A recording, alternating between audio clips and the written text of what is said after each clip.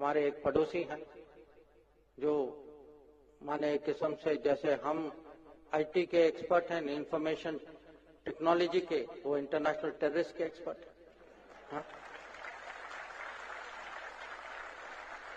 अब उनके यहाँ और सालों से ये चल रहा है कि हम इसका सामना कैसे और इसमें जो है, हम दुनिया में हम दुनिया को हम समझा पाए कि आतंकवाद जो है, कभी आप ये नहीं समझिए कि आतंकवाद राजनीति है या कूटनीति है। आतंकवाद आतंकवाद है। आज हमारे खिलाफ किया जा रहा है, कल आपके खिलाफ। ये होगा।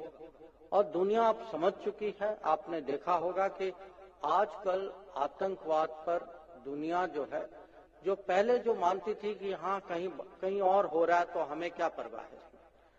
अभी इसमें हम दुनिया को एक किस्म से साथ लाने में हमें, मैं नहीं कहूँगा कि पूरी सफलता मिली है, पर पहले से जो है, दुनिया की समझ पहले से ज़्यादा है।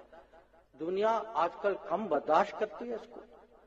और इसके कारण जो है जो भी देश आतंकवाद का उपयोग करता है, उन पे आज वो दबाव है, वो हिचकिचाते हैं और कभी कभी जब कुछ करते हैं